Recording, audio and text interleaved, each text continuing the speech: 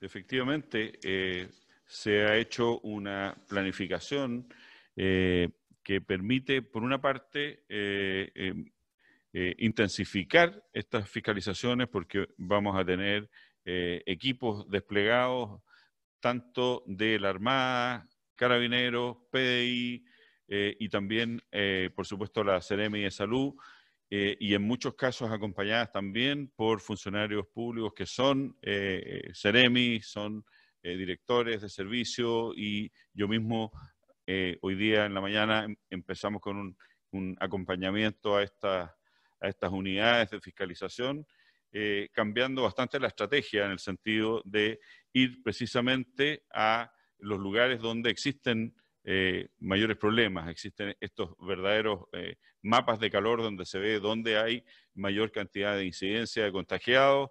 Eh, también estamos reaccionando a las denuncias que se han intensificado. Muchas personas, de manera bastante responsable también, hacen denuncias de situaciones que se nota fuera de la normativa sanitaria.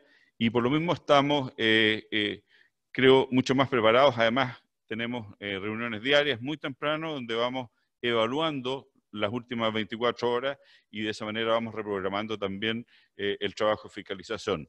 Eh, lo que no se va a ver tal vez son estas fiscalizaciones donde hay detención de vehículos y largas filas, digamos.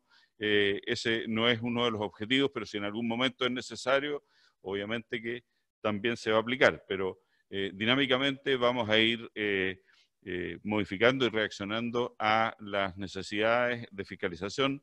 El objetivo final de esto es cumplir justamente con lo que la Ceremi pretende, ¿no es cierto?, la baja de los contagios eh, y también evitar las aglomeraciones y lo que se llaman hoy día delitos sanitarios que constituyen estas fiestas o, estas eh, reuniones, ¿no es cierto?, que no son autorizadas y que atentan seriamente contra la salud de la gente.